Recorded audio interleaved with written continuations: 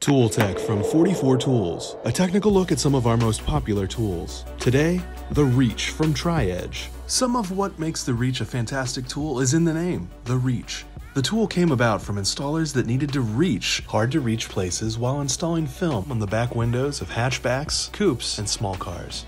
One of the Reach's party tricks is its asymmetrical design. Not only does it have soft install services that both push and pull water away, but even better, it has different radiuses and different hardnesses on each side of the Reach tool to give you more flexibility.